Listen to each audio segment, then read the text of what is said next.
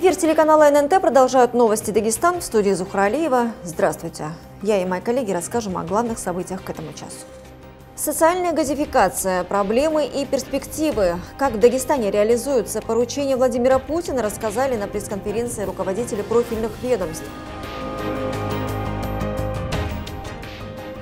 Выплат на всех не хватит. Глава Дагестана Сергей Меликов раскритиковал представителей Минтруда Дагестана. За что, расскажем через несколько минут.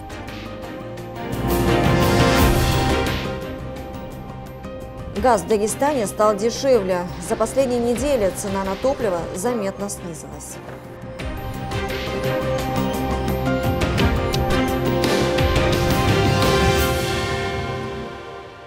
Газ в каждый дом. По поручению президента России Владимира Путина по всей стране реализуется программа социальной газификации, позволяющая подводить голубое топливо к границам земельных участков бесплатно.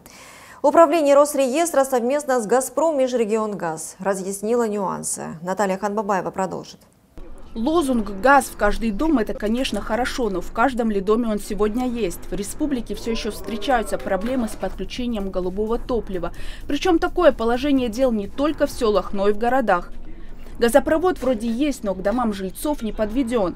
Сейчас поступило более 800 заявок на догазификацию, однако одобрены из них только 657.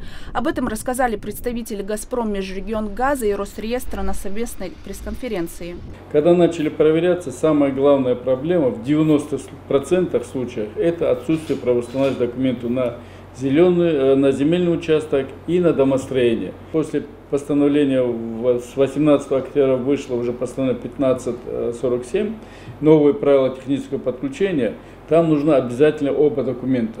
Это обязательно документ на земельный участок, что она находится в собственности, и то документ на домостроение, что она э, зарегистрирована и она в собственности у нее находится. По закону догазификация коснется всех, в том числе и садоводческие общества. Если участок находится в границах товарищества, расположенного в газифицированном населенном пункте, то проблем не возникнет и топливо подведут бесплатно.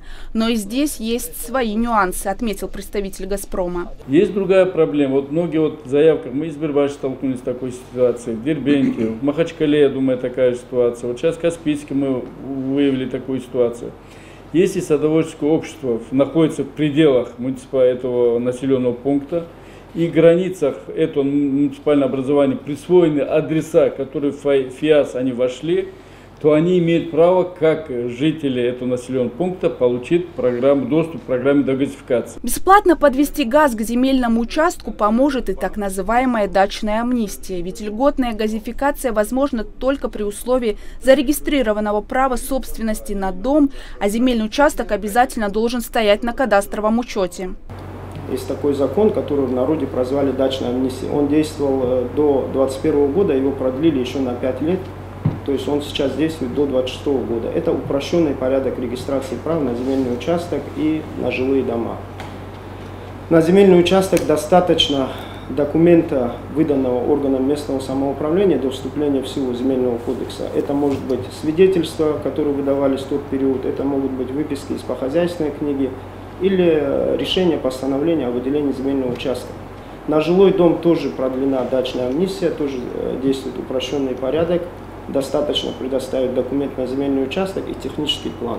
Социальная газификация – это один из приоритетных государственных проектов, однако процесс идет тяжело. В Дагестане на сегодняшний день удалось подключить к газу только 55 объектов. Учитывая, что вопрос находится на контроле у главы государства, почему поручению ведется вся компания, республиканским властям предстоит большая работа. В том числе и по просвещению населения, которое, как показывает практика, не всегда в курсе правовых нюансов процесса.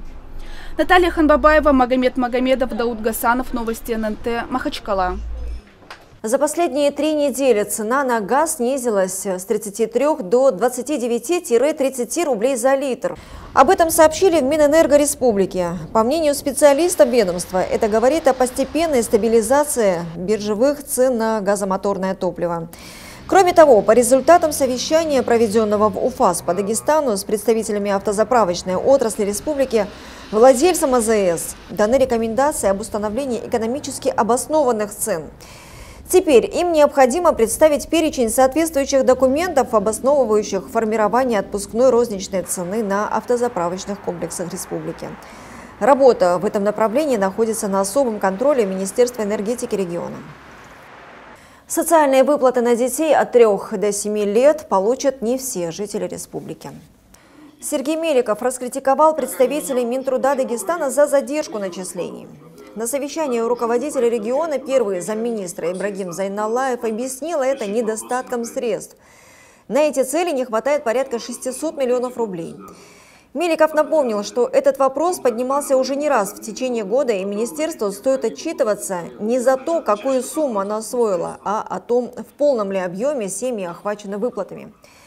Глава Дагестана также отметил, что уже поздно обращаться в Федеральный центр за дополнительным финансированием. У жителей села Новокулей, похоже, больше не будет проблем со светом. Россети установили в поселке новый и мощный трансформатор. Дополнительное оборудование позволит снять нагрузку с подстанции, считают специалисты. Благодаря этому будет улучшено качество энергоснабжения потребителей, проживающих не только в Новокуле, но и в промзонах и на побережье Махачкалы, начиная от Сулакского поста до кардиологического центра.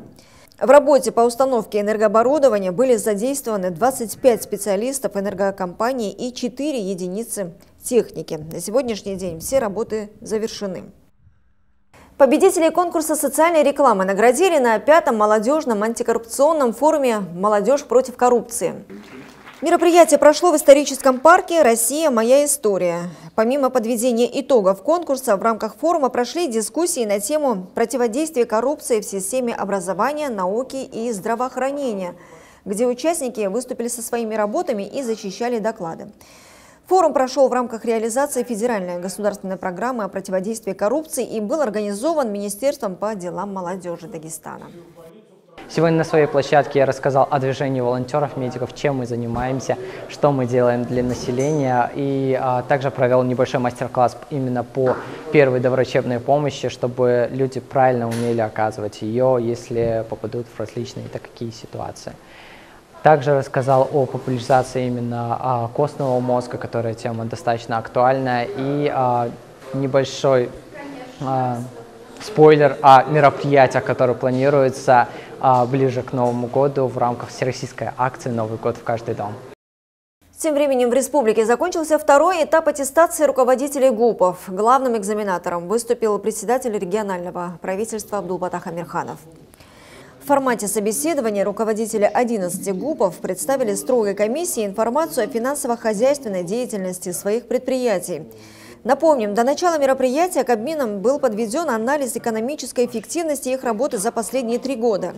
Как сообщает секретариат Кабмина, результаты аттестации будут известны к концу этой недели. Заводов мало, но трудолюбивая молодежь в Дагестане все еще есть. Форум «Молодой заводчанин» прошел в Махачкале. Мероприятие, по словам организаторов, нацелено на популяризацию рабочих и инженерных профессий среди людей в возрасте до 35 лет.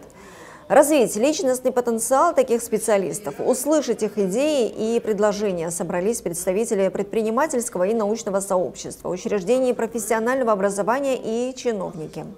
Участники поделились на три группы.